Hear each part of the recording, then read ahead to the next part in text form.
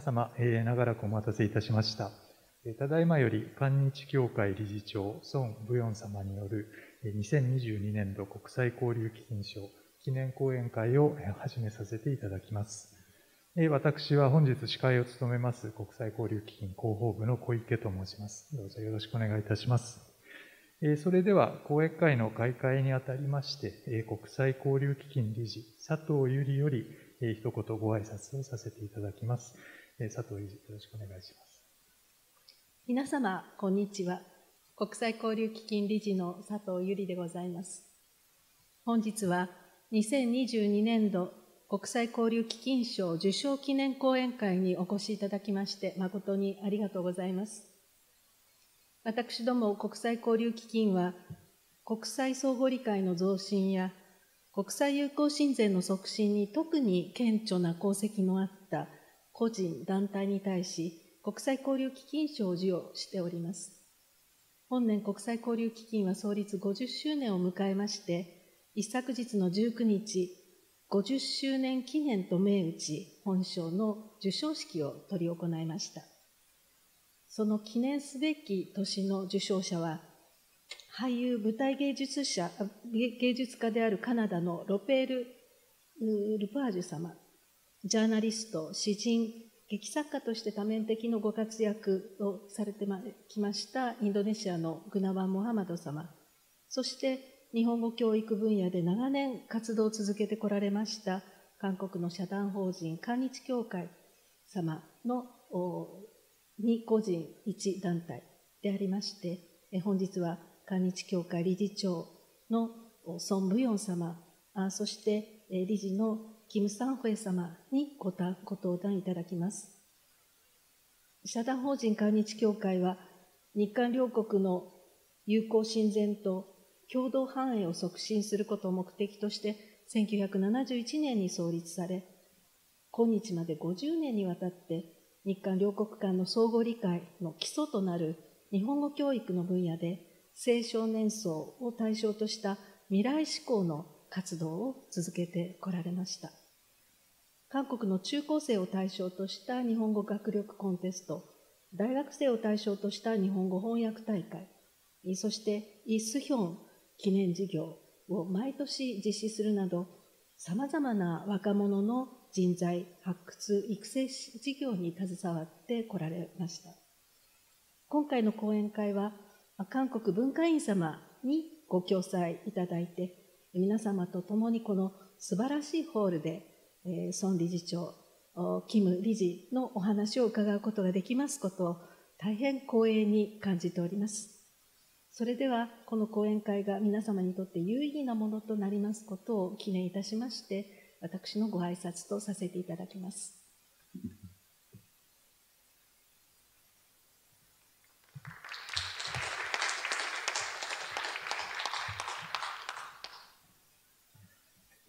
佐藤理事、ありがとうございました。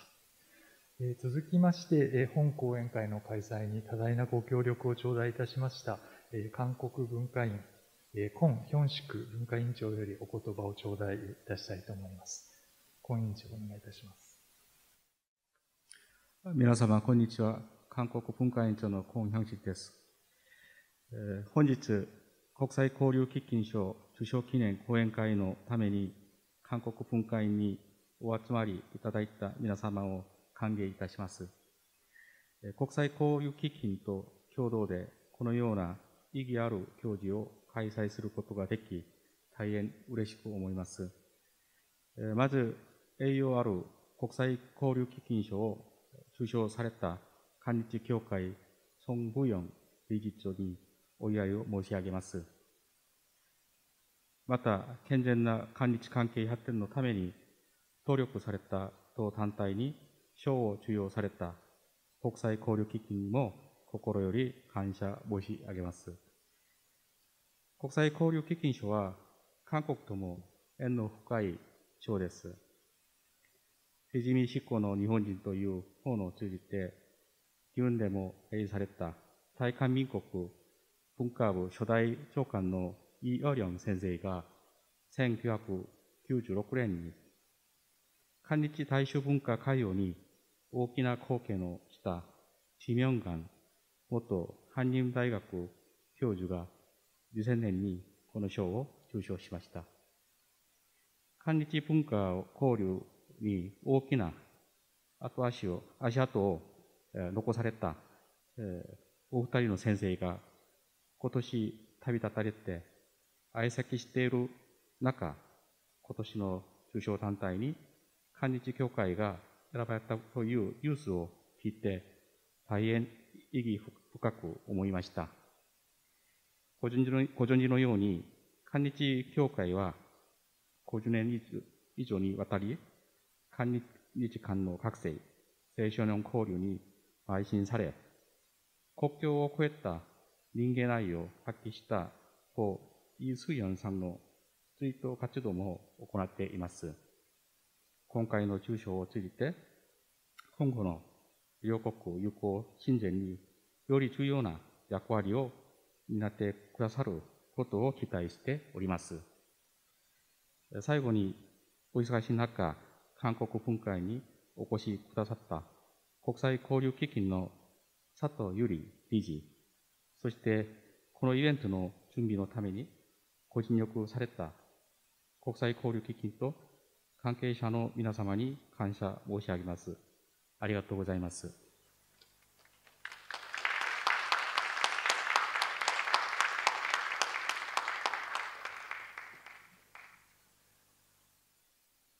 今ヒョンシク委員長、どうもありがとうございました。それでは、あの、本日はまず、えー、韓日協会、えー、理事のキム・サンホエ様から韓日協会の事業、特に青少年交流の取り組みについてのご紹介を最初にいただきます。その後、韓日協会が目指す未来志向の日韓交流について、理事長の孫武ヨン様よりご講演をいただく予定です。はい、それでは、えー、キム理事、どうぞよろしくお願いいたします。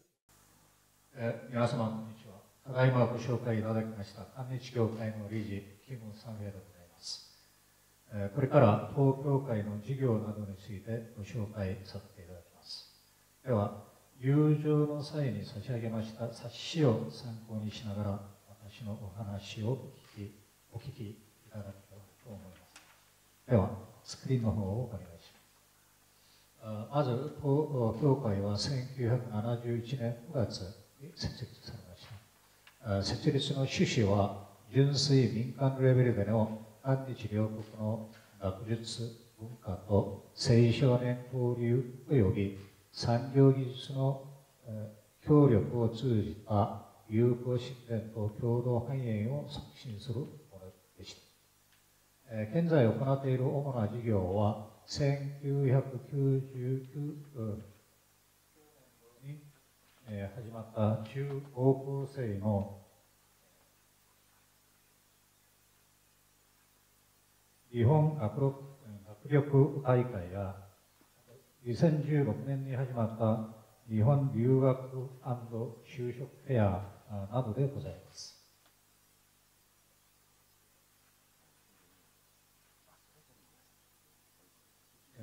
各事業の詳しい内容は、皆様のお手持ちの冊子に掲載してありますので、ご参照。今、現在、東京会が主に行っている韓日協会の青少年交流事業の営業をこれからお見せしますが、この営業は2つであります。まず1つは、全国中高校生日本語学力教師大会で優秀な成績を収めた学生たちを広島に、研修旅行を派遣しております。これこの営業は2013年8月4日から8日まで行ったイベントなんですが、本大会には中学生5名、あと高校生5名を広島に4泊5日間の日程で研修旅行に派遣した中で、広島女学校をの学生たちと交流会を行った内容でございます。あともう一つは、韓日青少年交流会と名って、2018年3月31日からソウル郵送ステルで行った行事でございます。これは NPO 法人日本国際交流センターから韓国語スピーチ大会で受賞した中学生5名と高校生5名を韓国のソウルに招待し、4泊5日間の研修旅行の中で行われた交流会の内容となっております。では、映像の打ち出しをお願いします。これから2つの映像をご覧になってください。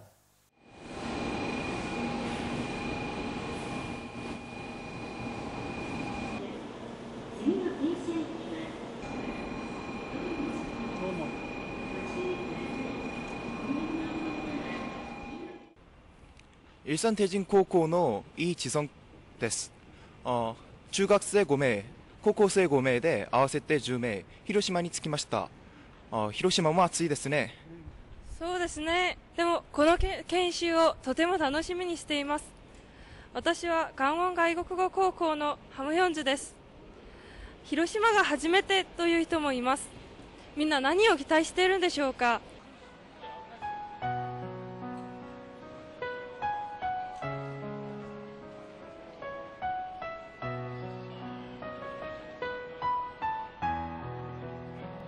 私の名前はソハヨンです。京畿女子高校の高校3年生です。私は広島に来て、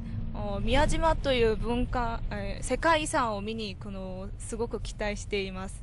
ソウルの首都女子高校3年の金地ヒと申します。今回は広島で、あの平和記念公園や、うん、お好み焼きとまんじゅうなどいろんな食べ物にも期待しております。私はチャネ中学校3年生のチェジーと申します。私は今回広島に来て日本でしか見られない風景とかその日本らしさすごく楽しみにしてます。こんにちは。私は釜山中学校に通っているイエミンと申します。賑やかな都市ではなくて静かな広島に行っていろいろなものを並びたいです。私の名前はカンナヨンと申します。私はゼジュ西中学校2年生です。広島女学校との女学校との交流会が期待しています。木東中学校3年生の文正혁と申します。あ僕は広島が初めてなので広島の平和公園へ行ってあ平和の意味をもう一度考えてみたいと思っています。私は四院外国語高校1年の張志雲と申します。広島女学院の学生たちと交流することです。楽しみにしてます。私の名前はイ・テギョンです。私は広島に来ていろいろなものを見て日本の生活日本の人々の生活や食べ物をたくさん楽しみにしていますあ明日8月6日は広島の原爆の日の記念として平和公園では式典の準備が行われています。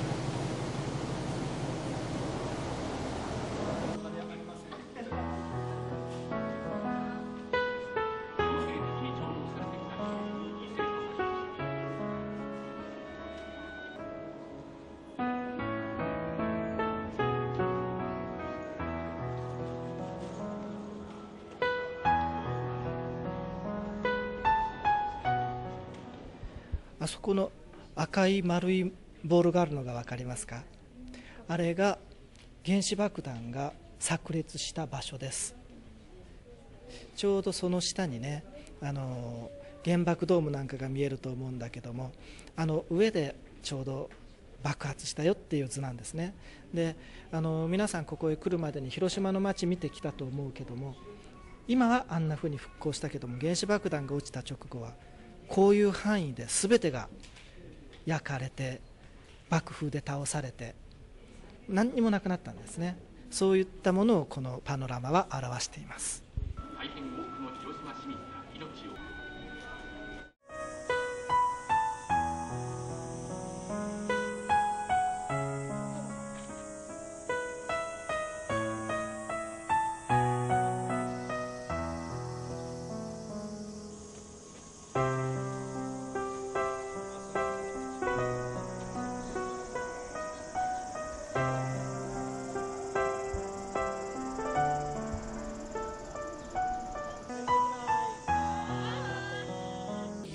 68回目の原爆の日です。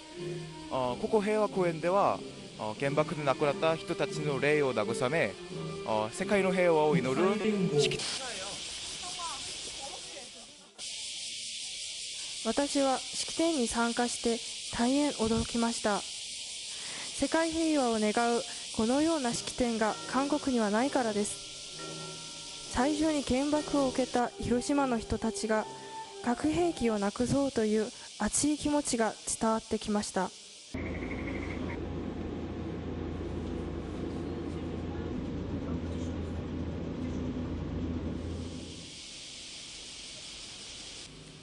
ここは広島駅の近くにある出家院です。広島を代表する庭園です。ここを見学した後宮島に行くそうです。楽しみです。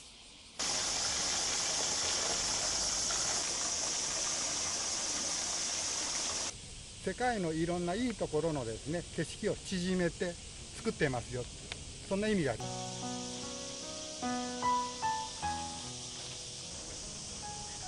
皆様にねお茶をお立てするためのまず道具を持ち出します。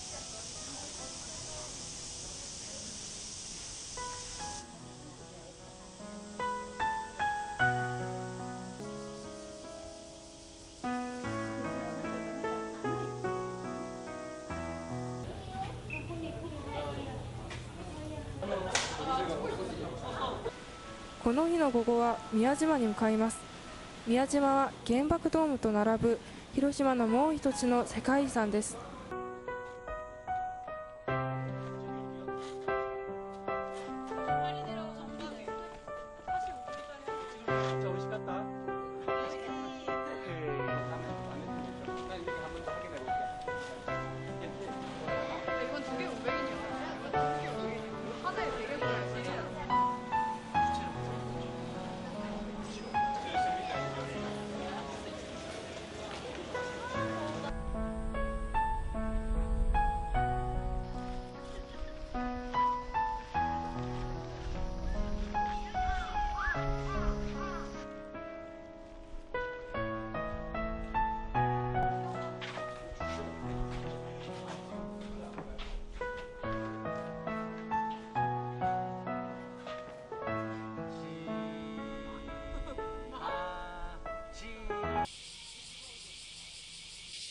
私たちの広島研修も今日で最後になりました。瞬くうちに日が過ぎてしまいました。これから昨日の出家院の近くにある広島の中高学校で交流会に参加します。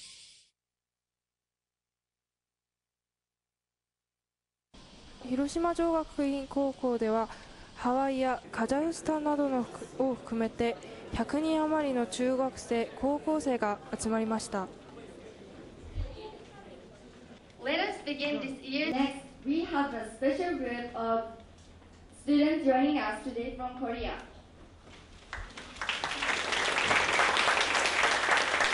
So this is my mother's friend, Mildred. そして学校ごとに平和への取り組みについて報告し報告しました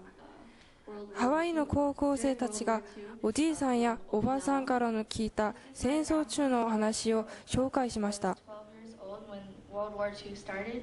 and he was also trying to think about what your own school is doing. 最後に世界平和のために高校生が何ができるかについてグループ討論をしましたっ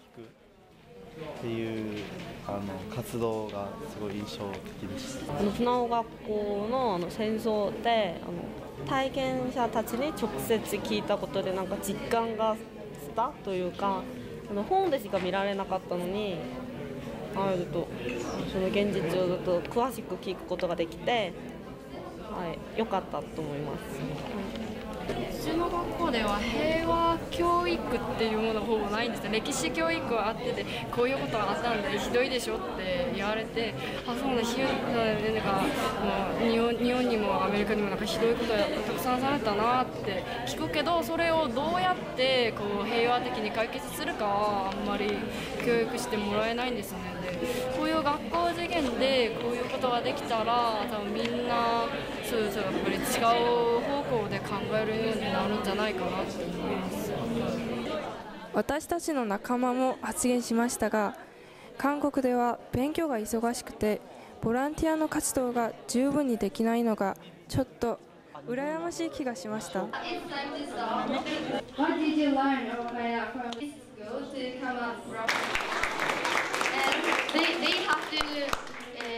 初めには高校3年生の受験生の辛い現実から逃げようとする感覚で来たのですがあの1月に広島来た時とまた違うあのいろんな魅力を感じることができて、はい、これからも先の社会生活にも本当に役に立つと思います。そしてこんなに多くのいい友達に出会うことも できて本当に楽しかったです。今回の広島研修に参加しあいろんな場所を見て回りあいろんな経験をしていろんな友達を作ってあ本当にあありがたく思っています。そして広い視野を持ったこと持つようになってあ本当に有意義な研修になったと思います。ここ広島研修に来てもらって本当に良かったと思いますなぜならここに来て日本の人々の生活観やその日本の文化それそして食文化いろいろなものを経験して本当に良い知識になったと思っています。今回で広島は2回目ですけどあ前回とは違ってもっといい経験ができてすごく嬉しいと思っています。うん平和記念のにも参加してきてまたそういうのも見ることができてすごくいい経験になりましたしあとこういう見学も理事長のお話もすごく良かったのでああの自分の目標をちゃんと決めて生きていきたいと思っています。はい今回広島に来て今までできなかった。そしてこれからできないかもしれない体験をいっぱいさせてもらって本当に楽しかったです。広島の女子高生との交流会も楽しかったしそのそして宮島で見た風景も絶対忘れられないような思い出になりました。今回広島に来て本当に良かったと思うしもう次もその絶対来てみたいと思っています。ありがとうございます。この広島研修でいろいろなことを学ぶことができできましてとっても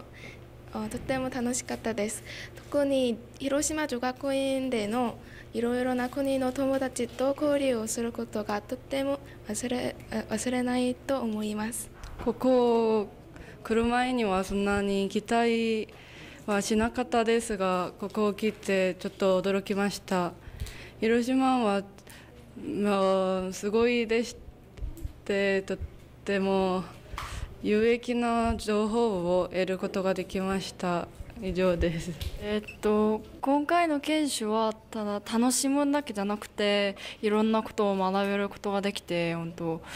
と印象深かったです特に核兵器などはこの我々の未来で欠かせないそういう問題について詳しくもっと深く考えるきっかけができて嬉しいです。あのちょっと大げさですけどあのこのここでの経験を生かしてこのこれからの未来にも役に立ちた役に立つ人になりたいと思います。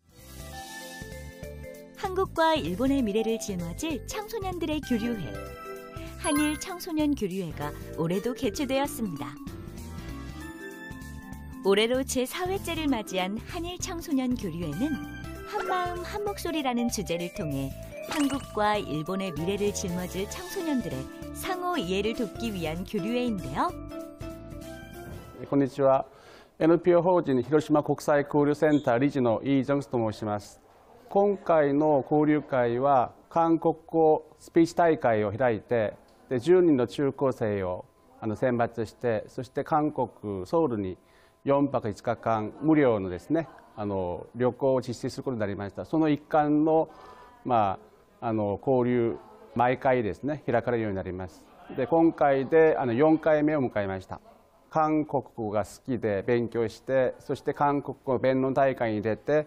あの選ばれたあの中学生と高校生。今回は、え、中学生が2人高校生が6名。で8名あの日本から来ました。広島からですね。こっちからの学生もあの8名中高生で。今度はまあ日本語が好きでですね。あの日本語スピーチ大会で一応選ばれた学生たちとの交流ですね。 올해도 어김없이 히로시마 한국어 스피치 대회에서 뽑힌 8명의 학생들이 이번 교류회에 참가했습니다. 전부 한국 문화를 좋아하고 한국어를 열심히 공부하는 학생들이라고 하는데요. 좀 더 깊게 양국의 문화를 자세히 알고 이해하기 위한 여러 가지 프로그램이 마련되어 있었습니다. 스피치 대회, 퀴즈쇼, 그리고 하늘 가라오케 대회까지 다양한 프로그램이 준비되어 있었는데요. 그중 단연 인기 프로그램은 바로 양국의 노래를 서로 바꾸어 부르는 가라오케 대회였습니다. 노래하고 춤도 추고 각자 무대를 뽐내는 하늘 학생들. 그중 단연 무대를 휘어잡는 학생이 있었는데요. 구성진 목소리로 분위기를 업시키는 신종 학생. 정말 대단한 내공이 아닐 수 없는데요.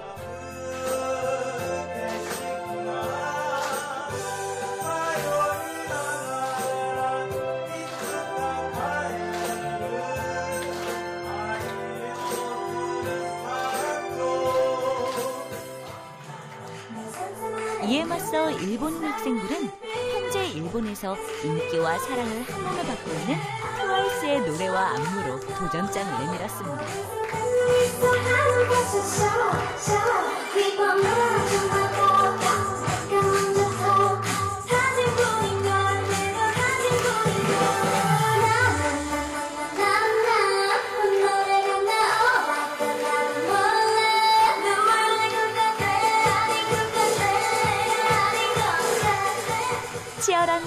経新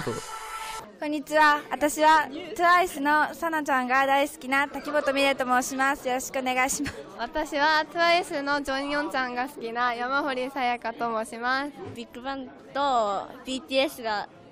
大好きな川村ひな子です。韓国に来て2日目の夜に練習し始めてそれから昨日もっと練習して今日やりました。恥ずかしかったけど、でも楽しかったです。基本的に食べ物とかアイドルとか化粧品とか全てのものがすごく魅力的で日本人だからこそ韓国がいいなって思う部分がたくさんありますいつかは韓国に留学に来て韓国語をもっと学んでいつかはゆ夢ではありますが韓国でお仕事ができるようになってみたいです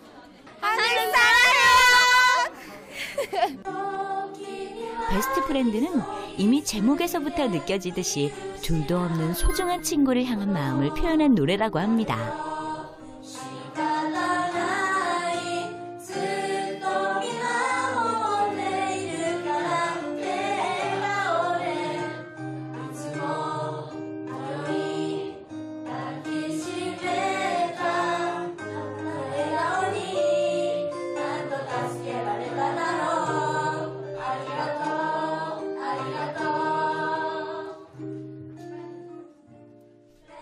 학생들의 노래를 듣고 있자니 서로를 향한 마음이 고스란히 느껴지지 않으신가요?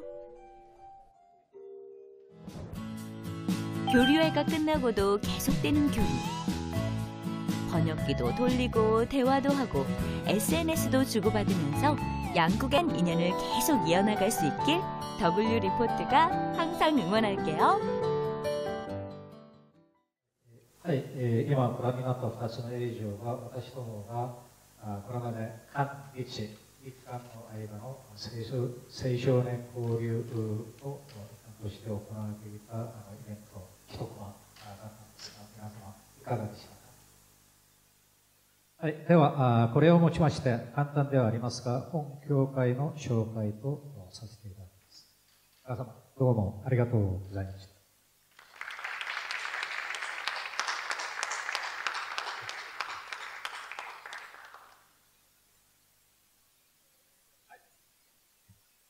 キム理事、どうもありがとうございました。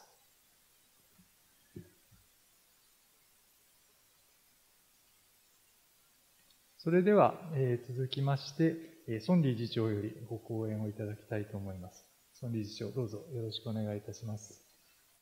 えー、幹事協会の理事長、孫理事です。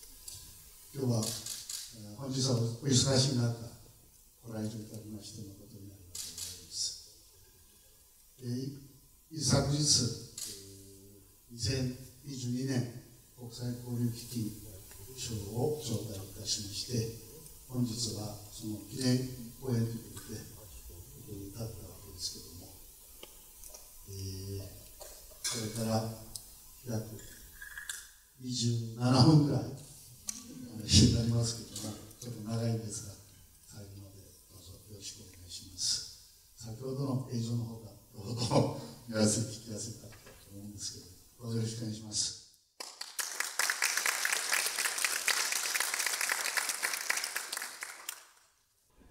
では始めたいと思います。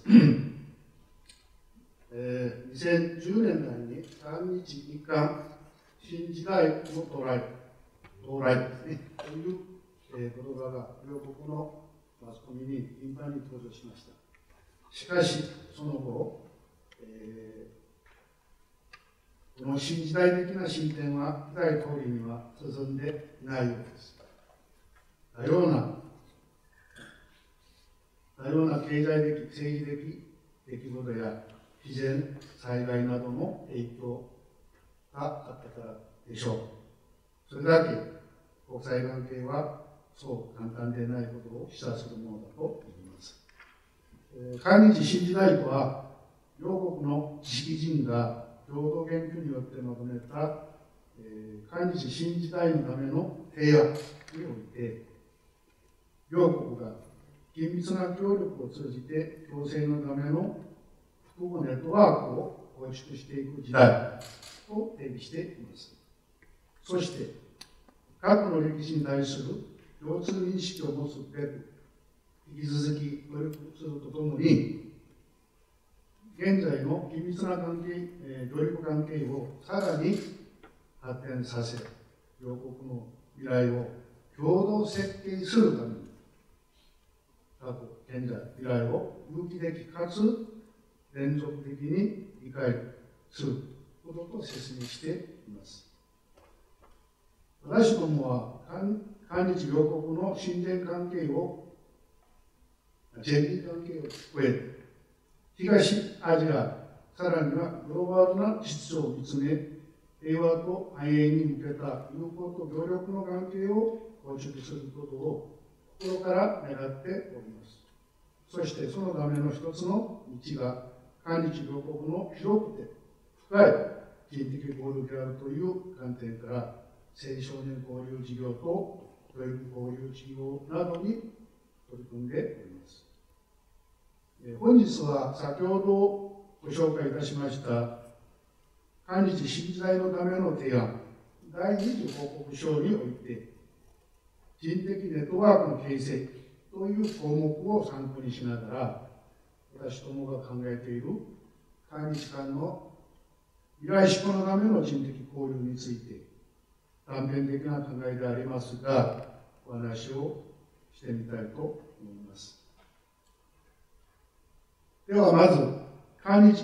人的ネットワークの課題について見てみます。韓日両国は1965年の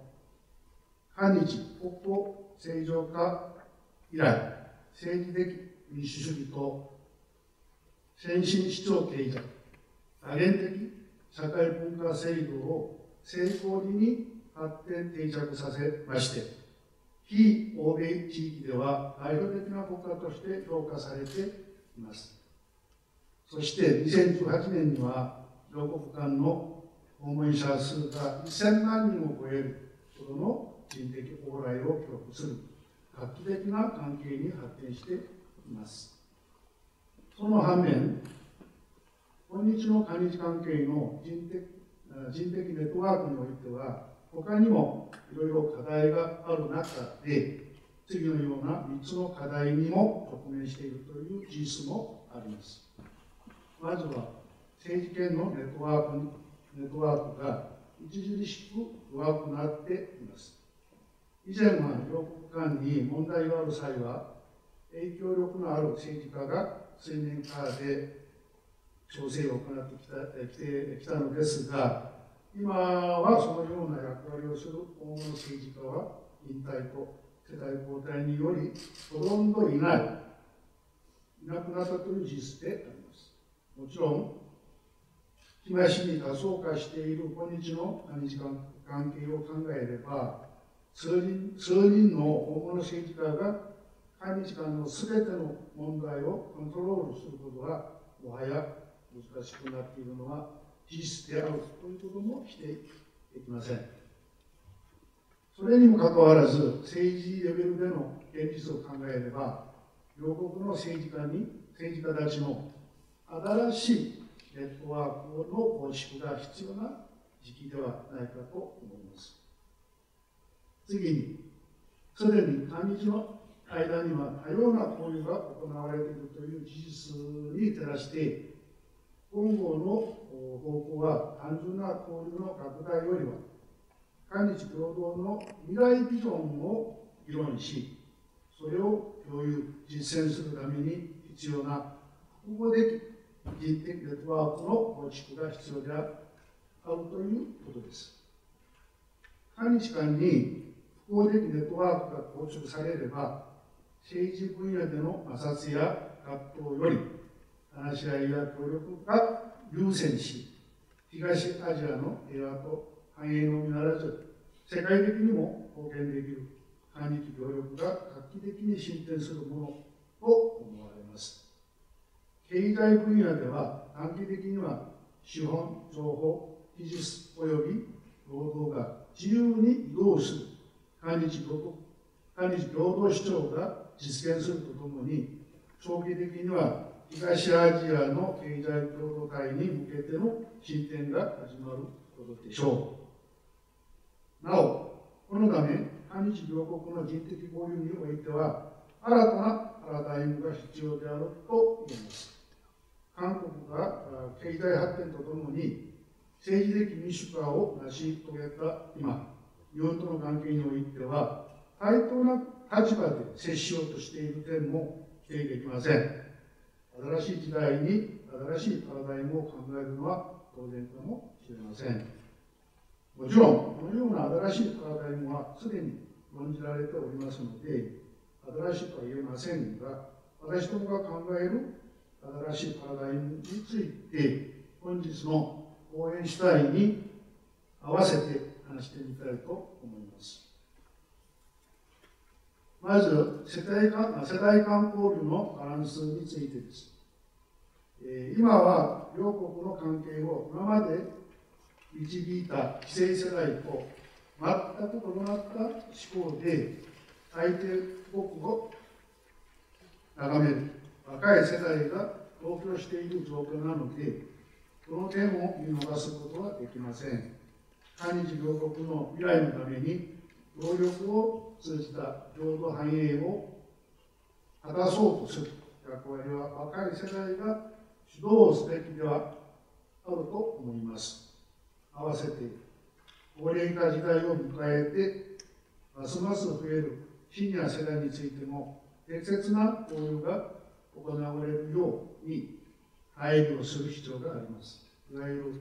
各層のそれぞれの交流が多面的に行われるよう配慮する必要があるということです。第2に、地域間交流のバランスについては、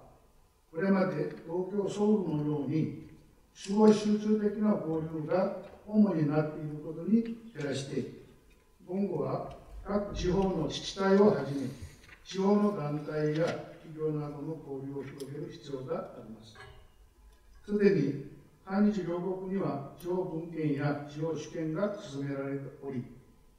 地方間の姉妹関係の提携などを通じて、経済分野の交流ないし、経済統合に至るまでを目標にする自治体もありますが、これは極めて重要です。地方勢力において、地域発展のために観光や経済交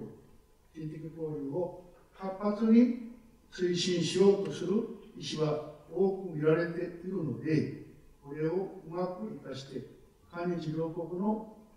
危機間の交流を拡大させることは非常に大事だと思います。第3に、短期的達成と長期的目標を共に考慮した時期的交流のバランスが重要です。韓日関係が時にはすぐに悪化しやすい点を考えれば、できるだけ短期間で成果を出せるネットワークの構築も重要ですが、その一方で本来人的ネットワークの成果というものが目に見えにくく、また成果を上げるためには長い時間がかかる場合が多いです。したがって、すぐに成果を出すために、利息のではなく、短期と長期の目標を設定し、大局的観点で両国の共同ビジョンを定め、それを実践することがより重要であります。韓日の共同未来を設計することは、一国の100年の体系を設計すること以上に難しい作業であります。だからこそ、今、それに取り組む姿勢が必要です。このような3つの要素とともに、人的交流において、質的、量的な側面で、滞在期間も重要な要素であると思います。交流の内容から見れば、短期滞在型は主に量的な側面が強く、長期滞在型は質的な側面が強いと言えます。その意味で、教育や就職などは質的な交流でありながら、長期滞在型でありますし、観光、文化などの交流は量的には広がりを見せる短期滞在型に当たります。このような質的量的交流の面において、さまざまな分野の人的交流が複合的に絡み合って、今日の韓日関係を維持する土台になっていると思います。これからも革新的な各分野の人的交流の底辺を拡大し、根の深い民間交流を行うことで、複合的人的ネットワークが形成されるものと期待します。それではここで、教育、就職、観光、文化、地方、青少年の6つの分野の交流の進め方について、もう少し踏み込んで話を話をしています。まず、教育分野においては、代表的に留学という形で両国間の交流が行われています。日本学生支援機構のデータによれば、2019年度には、日本にいる韓国人留学生数は1万8338人であり、同じく韓国にいる日本人留学生数は7235人です。両国間には1.5倍ものアンバランスがあります。留学は短期間の語学研修を除いては、ほとんどが長期間にわたって学位を習得する過程であるとともに、これは長期滞在型に下がりますし、質的な側面では上位概念であると言えます。将来の社会的リーダーを育成するグローバルレベルの労働人材の育成において、留学は有効な教育手段と言えます。先ほど述べました韓日新時代共同研究プロジェクトでは、学期的に総合の留学生交流の拡大を目指す、韓日10万人留学生プロジェクトが提案されております。えー、交換留学生制度、国費留学生制度、語学研修や正規留学生の私費留学制度、単位総合認定制度、不定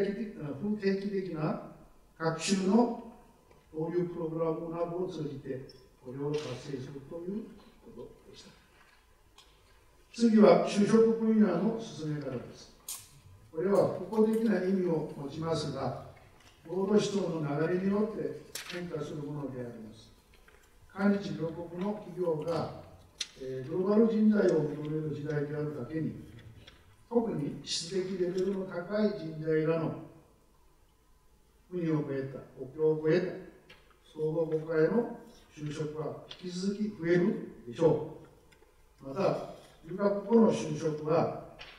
外国に国での生活を定着定住させる意味まで含むのでこれは人的交流の頂点を飾るものと言えます。一方技術職は職や技術職やサービス職職の就職も韓日両国の人口が減る減少と高齢化減少の中で海を越えた、うん、需要による移動が予想されています留学による就職のほかにも技術研修や短期語学研修ワーキングホリデー活動などを通じて総合国家で経験をもとに若い世代の職業選択の方向性を提示する一つの軸になり得るのです。このような主張の上で私どもは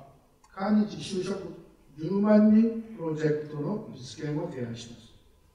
この目標を達成するためには留学を通じた現地での就職両国言語習得者の相手国への就職技術技能保有者の相手国への就職大学生の海外インターンシップを通じた卒業後の相手の国への就職第三国への個人及び共同投資を共同投資企業における、えー、社員採用などを積極的に推進する必要があります。このようなことは民間部門でも実行が可能なものですが、政府レベルでの支援があれば、より一層励みがつくものでしょう。3番目の観光分野で、えー、はすでに、えー、産業的に多くの交流がある分野です。韓日両国間には2018年度に年間1000万人を超える観光客の往来がありましたが、この数年間はコロナ禍のために停滞している状況です。幸いにもコロナ禍の沈静化が見られる中で、今月11日から日本の入国ビザが緩和されたので、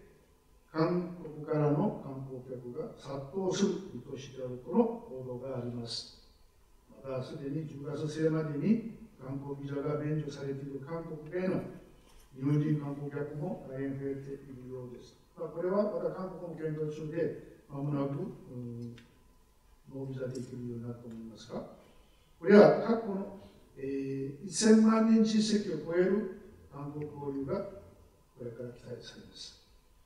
えー、人的交流の量的な側面では観光を超える分野はなく、短期滞在ではありますが、これを通じて両国を正しく認識、理解することを皮切りに、留学留学や就職などの他の交流につながるきっかけになるでしょう。特に観光分野において、中学生、高校生の修学旅行とホームステイは、えー、さらに質的価値を持つため、各自治体は拡大方策について工夫する必要があります。そして各自治体は両国の多様な交流にホームステイを融合させ、不可能で交流とも言える個人対個人、家族対家族の交流を拡大させることを期待します。その後につながる二次的な総合訪問、持続的な知り合い関係の交流は民間交流においてこの上なく大切なことだと思います。4番目の文化分野はすでに幅広いジャンルにおいて交流が行われています。伝統文化、現代文化、音楽、映画、アニメ、食やファッション、メイクなど、さまざまなものがあります。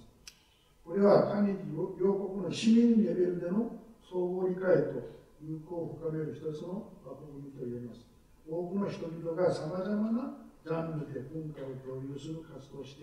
います。しかし、今までとは別に、個人またはサークルレベルでの文化交流が多様に行われるようにする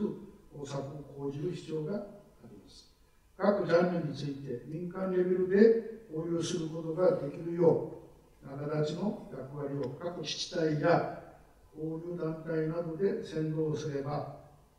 見せるだけの文化活動ではなく、趣味や同行レベルでの体験型として一緒に行う文化活動、一緒に楽しむ文化活動が市民レベルで活発に展開されるものと期待します。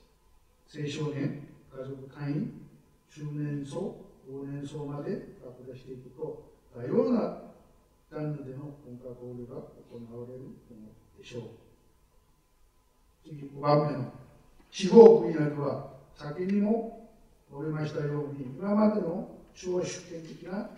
方式から達し、地方と地方、また地方と中央が交流を図るものです。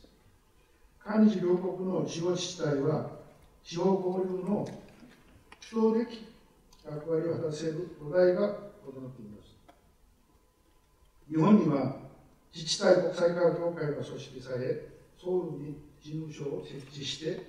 おりますし、韓国には人自治協議会が組織され、東京に事務所を設置しておりますので、先導的な役割が期待されます。これらの組織が韓日両国の地方政府や団体の要請を受けて、相手国の地方政府や団体に交流を打診することがスマートではないかと思います。実際、この両国の組織はすでにこのような活動を行っているという話を伺っております。そして、地方自治体が中心になって、留学、就職、観光、分野、地方、青少年など、すべての分野について、自治体レベルで人的交流を推進すれば、その影響は大きく広がる広がるものと期待されます。なお、生活スポーツについても、町や村のスポーツクラブのレベルまで交流を広げていけたら、大変面白い現象が現れ、自発的なスポーツ交流が花咲くことだろうと期待しております。最後になります。ここでは青少年交流について話してみます。すべての交流は未来志向が前提になるべきと思いますが、特に若い世代が感じ新時代の概念を取り入れて、青少年交流を進めることが大事であります。そして青少年交流は無限に大事であるという価値観のもとで、各界学層がこぞって協力していかなければならないと思います。今のところ、中学生、高校生の正規留学分野は、日本側が少し先駆けて留学生の受け入れをしている程度ですが、欧米や中国などに比べると、韓日両国はまだまだこの分野の交流に踏み切っていない感じがします。グローバル教育の一環として、この分野の開拓も必要であります。中国校中国高校単位での修学旅行の活性化や交換留学も学校の先生方が意思を持つことで実行が可能な分野と言えます。学校という立場は少しは政治の影響を受けやすい方ですが、勇気を出すことと、教育者としての確固たる価値観を持っていれば可能なことだろうと私は思います。現在、多様な分野で青少年交流が行われていますが、さらに草の根的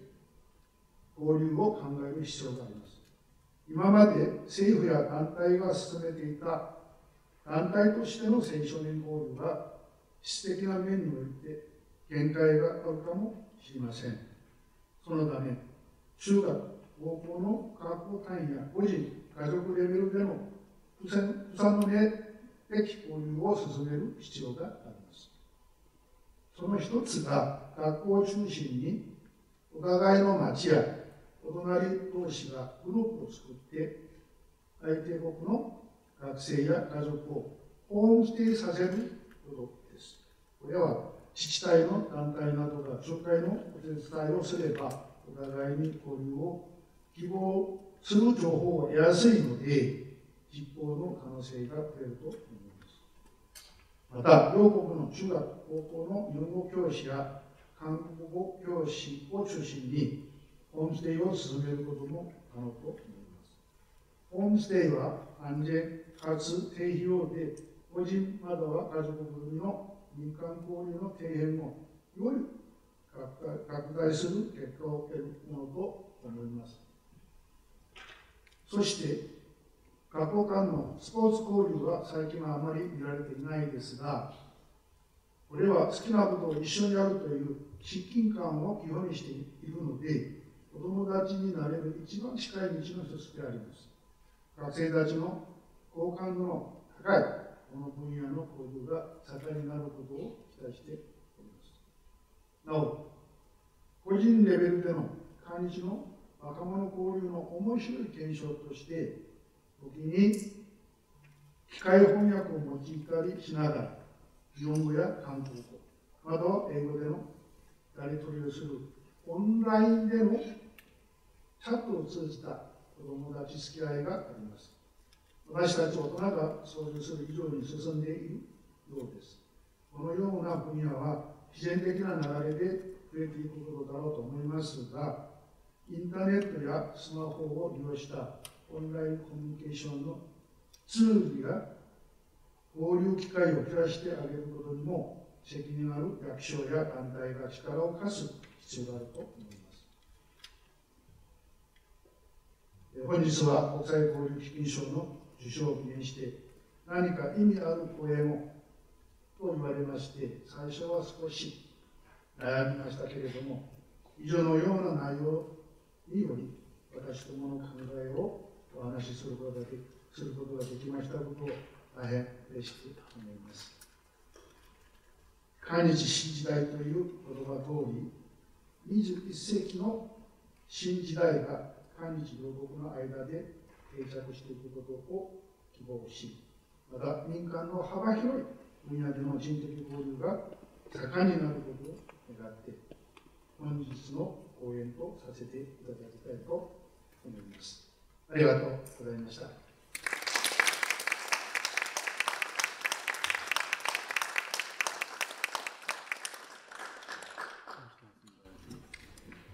孫理事長、ありがとうございました。これまでのあのご経験を踏まえて新時代に向けたすごくアイデアにあふれたまたあの未来に向けてスケールの大きいお話を、えー、いただいたかと思います、えー、皆様改めまして孫理事長、えー、キム理事に大きな拍手をお送りください。